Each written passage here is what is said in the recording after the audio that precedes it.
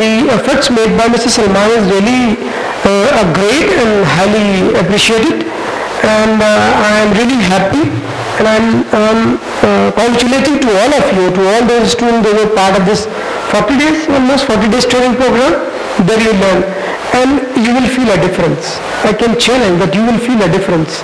And the other students, those could not do it, they are the losers.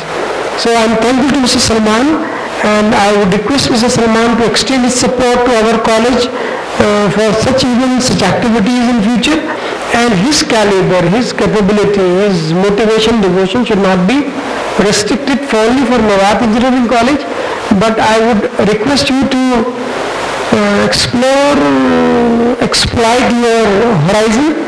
So I will take you to other world also, I will take you to other colleges. I will recommend your name to other colleges so that you can start similar things and uh, larger gathering, larger audience, larger student can be benefited. So once again, thank you very much, uh, Salman sir and Khushi sir coming days.